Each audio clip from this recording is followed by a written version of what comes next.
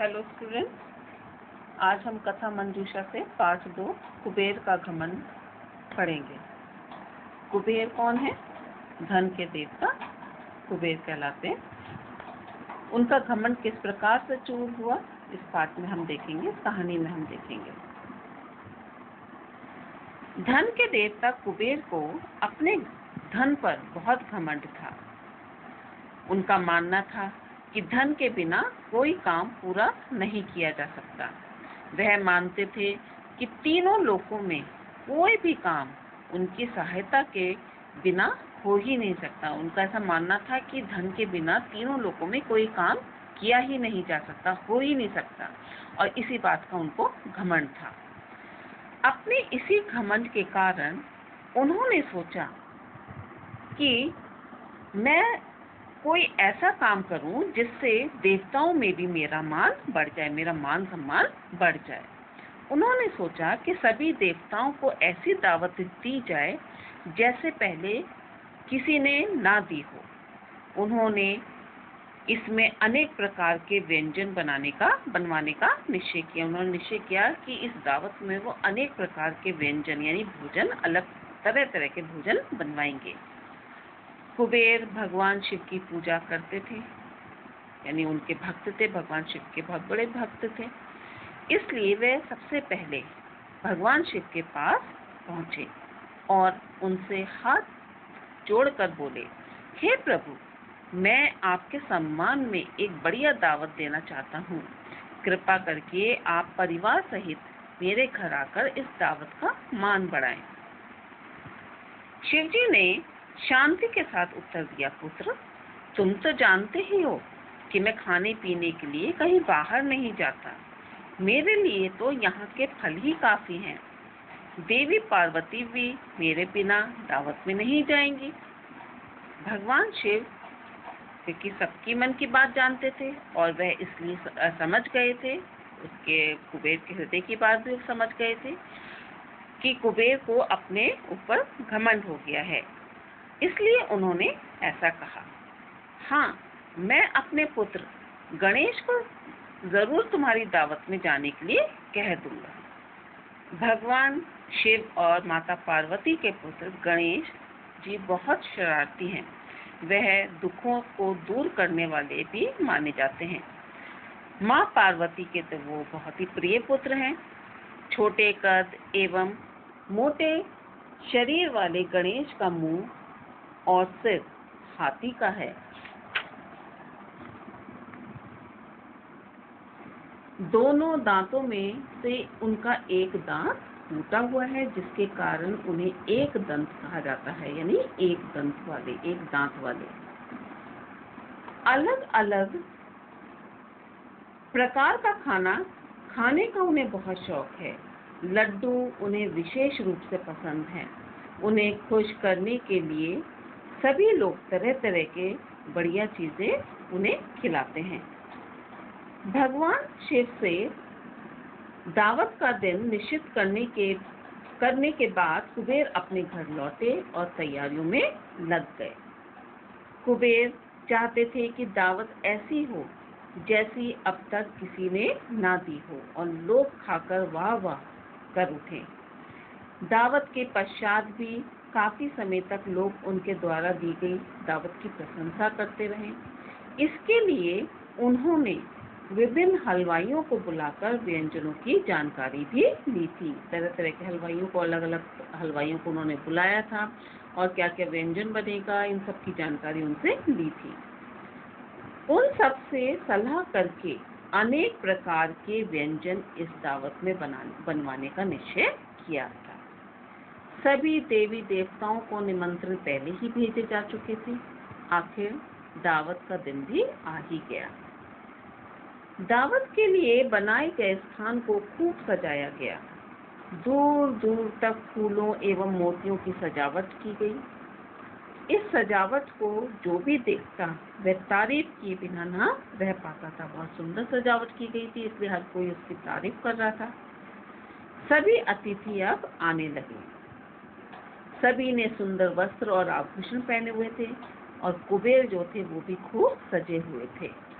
वह द्वार पर खड़े होकर अतिथियों का स्वागत कर रहे थे। कुछ समय बाद गणेश जी भी आ गए।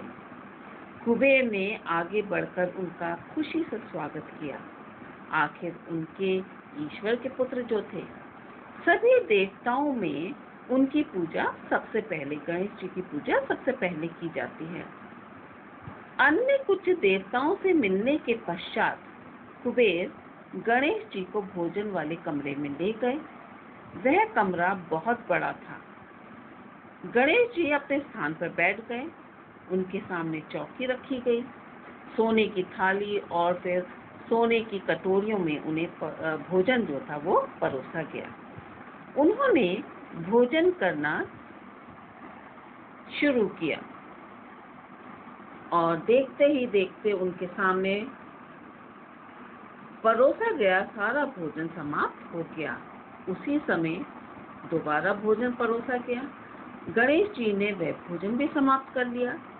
खाना परोसने वाले अधिकतर व्यक्ति उनके पास आकर खाना परोसते और गणेश जी जल्दी से उसे समाप्त कर लेते। कुबेर ने और खाना परोसने वाले व्यक्तियों को केवल गणेश जी के लिए ही लगा दिया। उन्हें जल्दी जल्दी जो था खाना लाकर वे लोग परोसने लगे और उन व्यक्तियों के अब हाथ पैर दुखने लगे। रसोई घर में बनने वाला खाना एवं कच्चा खाने का जो सामा, सामान था वो सभी अब समाप्त होने लगा था। पर गणेश जी की भूख जो थी वो अभी तक शांत नहीं हो रही थी। गणेश जी की खाने में थोड़ी सी भी देरी सहन नहीं होती थी। वे भोजन स्थान से उठकर स्वयं ही रसोई घर में जा पहुँचे और वहाँ रखे कच्चे पक्के सामान जो भी रखा था उसे चट कर गए। गणेश जी का पेट भी नहीं भरा तो कुबेर के खजाने के कमरे में पहुँच गए और उन्होंने वहाँ का रखा हुआ सारा खजाना जो कुबेर का था उसे भी खाकर समाप्त कर दिया। और इसके पश्चात कुबेर से बोले, मुझे अभी भी भूख लगी है। मुझे और खाना चाहिए, भोजन चाहिए। यदि तुमने मेरे लिए और खाने का प्रबंध नहीं किया तो मैं तुम्हें खा जाऊँगा। कुबेर ये सुनते ही परेशान हो गए। उन्हें समझ नहीं आया कि वे गणेश जी का क्या, को क्या कहें, उनसे क्या कहें। कुबेर को चुप देखकर गणेश जी क्रोधित होकर अब उनकी ओर बढ़े। गणेश जी को अपनी ओर इस प्रकार से आते देख कुबेर डर गए और भागने लगे। कैलाश पर्वत पर पहुंचकर शिव जी को पुकारते हुए वो बोले, हे प्रभु, मुझे बचाइए। शिव जी ने उनकी पुकार सुनी। तो सुनकर उनसे पूछा, क्या हुआ? कुबेर ने उत्तर देने से पहले ही, कुबेर के उत्तर देने से पहले ही गणेश जी भी वहाँ पहुँच गए और बोले, मुझे बहुत भूख लगी है। शिव जी बोले, जाओ, अपनी माता से खाना ले लो। गणेश जी के जाते ही कुबेर भगवान शिव जी के से क्षमा मांगने लगे। अब क्योंकि उनकी आँखें खुल गई थी और उनका जो घमंड था, धन को लेकर, वो भी अब चकनाचूर हो गया था। तो इस प्रकार से कहानी से हमें यही शिक्षा मिलती है कि हमारे पास जितना भी है, जो कुछ भी है, हमें उसी में संतुष्ट रहना चाहिए। क्योंकि ईश्वर द्वारा प्रदान की गई किसी को अधिक दिया है तो किसी को कम, किसी के पास अधिक है तो किसी के पास कम।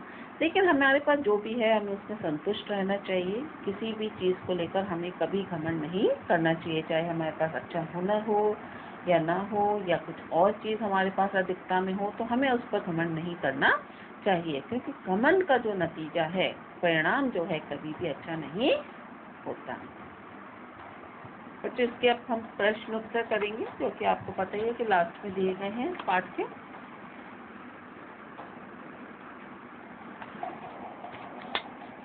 इसका पहला प्रश्न है, कुबेर दावत क्यों देना चाहते थे?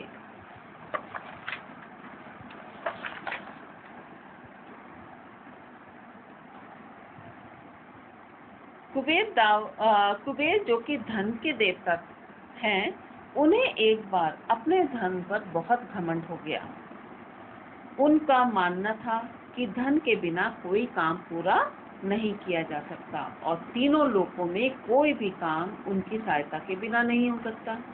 और इसी घमंड के कारण उन्होंने सोचा कि कोई ऐसा काम करूँ जिससे देवताओं में मेरा मान बढ़ जाए। और इसके लिए उन्होंने सोचा कि सभी देवताओं को ऐसी दावत दी जाए जैसी पहले कभी किसी ने ना दी हो।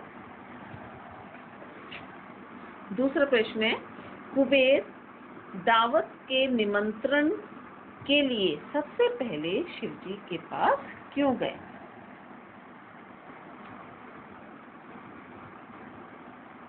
कुबेर भगवान शिव की पूजा करते थे, उनके परम भक्त थे इसलिए दावत के निमंत्रण के लिए वे सबसे पहले शिव जी के पास गए।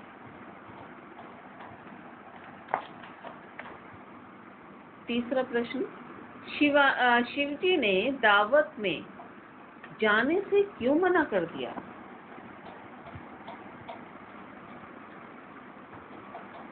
शिव जी ने दावत में जाने से इसलिए मना कर दिया क्योंकि वे खाने पीने के लिए कहीं बाहर जाते नहीं थे। उनके लिए वहीं के फल काफ़ी थे। प्रश्न चार।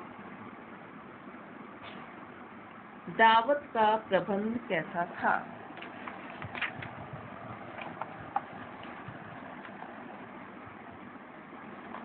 दावत का प्रबंध बड़ा ही शानदार था। दावत के लिए बनाए गए स्थान को खूब सजाया गया था। दूर दूर तक फूलों और मोतियों से सजावट की गई थी, जिसे जो भी देखता तारीफ़ किए बिना न रह पाता था। विभिन्न हलवाइयों को भी भोजन और व्यंजन बनाने के लिए बुलाया गया था। नेक्स्ट इस कहानी से क्या शिक्षा मिलती है? इस कहानी से यह शिक्षा मिलती है कि हमें जीवन में कभी भी अपने ऊपर घमंड नहीं करना चाहिए। ईश्वर ने सबको अलग अलग हुनर और चीज़ें दी हैं। किसी को अधिक तो किसी को कम दिया है। जो व्यक्ति किसी भी कारण से अपने ऊपर घमंड करता है, उसे जीवन में परेशानियों का सामना करना ही पड़ जाता है। जैसे कि हमने इस कहानी में कुबेर का घमन इस कहानी में देखा कि अंत में कुबेर को भी किस प्रकार से मुसीबत का सामना करना पड़ा था। तो बच्चों, इस पाठ के जो प्रश्न हैं, ये पाँचों प्रश्नों को आप हिंदी लैंग्वेज की कॉपी में करेंगे। Thank you children